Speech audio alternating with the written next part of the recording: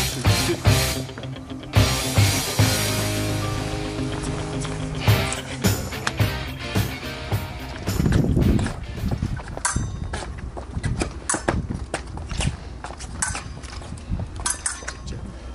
Бас хүүхд залуучуудыг энэ спортод анхаарлын татах. Ер нь бид нар бол энэ спортоор амжилт гаргах маш ирээдүйдээ бидний бие зогцсон, бидний түүхийг харсан ч гэсэн те энэ бол Монголд маш амжилттай хөгжих яг бокс бүх гэдэг шиг тим спорт юм байна гэж би боддог. Одоо Улаанбаатарт болох ч байгаа Азийн залуучуудын тэмцээний одоо үзүүлэх тоглолт тэмцээн.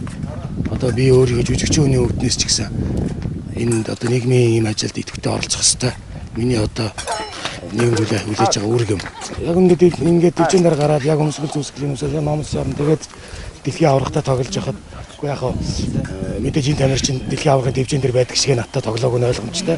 Гэхдээ энэ энэ спорт маш тийм анхаарал шаардсан, маш юм тоочноос маш зэгцтэй, инх зэгцтэй байдал ч гэдэг юм уу, хурд тесрэлт хүч тий. Тийм маш олон тийм юмыг шаардсан спорт гэдэг юм байна. Тэгээд энэ энэгээр л бид нар одоо ийм төрлийн юмар чинь л бид нар дэлхийг эзэлж энэгээр л бид нар дэлхийн түүхийн мянган жилийг бичлээ шүү дээ. Тэгэхээр энэгээр бид нар энэ дэлхийд амжилт гаргахад бидэнд маш ойрхон байгаа. Яг Монгол хүүхэд нөгөө зөв өрдөг шүү дээ. Ямар ч хөдөөний хүүхдийг ямар ч хүүхдийг бариад өрөхөд зөв өрдөг шиг өнөөдөр Монгол хүн сэлэн барихад бол тэгэл ямар ч хүн бол байлдана. Бид нар багтаач гэсэн мотор ингээд сэлэм хийгээд байлж тоглоал гэдэг.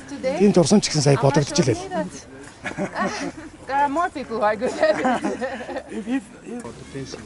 I'm very happy that fencing is in Mongolia because I believe it, it could be a good part uh, of Mongolian culture. Uh, we are standing here below the statue of Genghis Khan, and he has a sword as well. So I think Mongolians could be extremely good in, in fencing. So I'm happy it started. And today I was fencing with the two of the, the cadet girls, and they did very well. So I, I look forward to a good future of fencing here.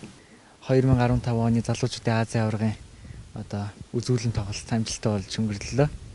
А энэ хүү үзүүлэн тоглолтод Олимпийн мөнгө медаль дэлхийн аварга алдар тамирчин Клаудио Бокел мөн манай Монгол улсын урдаа барьдаг алдартай жүжигчин Амар сайхан ах нар тулдаж их үзүүртэй тоглолт үзүүллээ.